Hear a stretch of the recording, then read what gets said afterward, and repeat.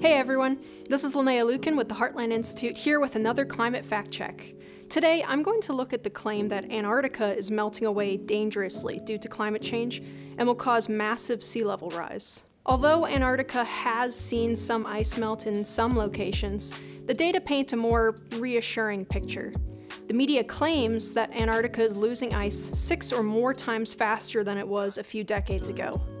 But Antarctica was barely losing ice back then, and it still is barely losing ice compared to its overall ice mass.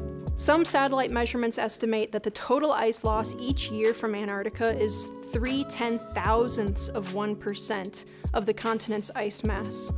That's not much. The truth is, it is unclear if Antarctica is losing any ice on balance, or if it's currently experiencing a net gain. It gets even more complicated when you factor in warming trends in Antarctica. There is a question of how much, if any, the continent has even seen overall.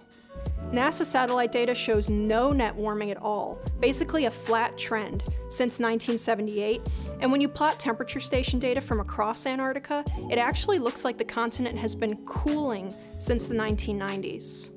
One recent study published in Nature Climate Change shows that most warming and melting in Antarctica is occurring in a single location, the West Antarctic Ice Sheet, specifically the Antarctic Peninsula. The research indicates that the majority of that melt is from sea ice due to ocean currents bringing relatively warmer water rather than rising air temperatures. While there is also land-based ice melt in West Antarctica, it has been counterbalanced by ice mass gains in the interior of the continent. In 2015, NASA reported that the Antarctic ice sheet had a net gain of 82 to 112 billion tons of ice per year, up until at least 2008.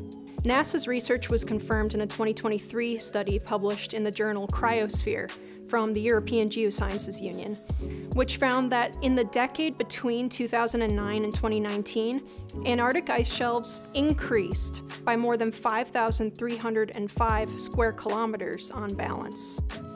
This isn't even getting into the weeds on recent research that suggests subsurface volcanic activity might be responsible for warming the waters around West Antarctica's misnamed Doomsday Glacier. Antarctica and its ice balance is a massively complex system, with the best evidence showing absolutely no cause for concern. That's all I have for this fact check. For the sources used as reference for this video, you can check out climateataglance.com, where you can also download a free copy of the book Climate at a Glance for Teachers and Students. If you prefer paper, you can purchase a hard copy on Amazon. We also have an app available called Climate at a Glance for Android and iPhone. Thanks for watching.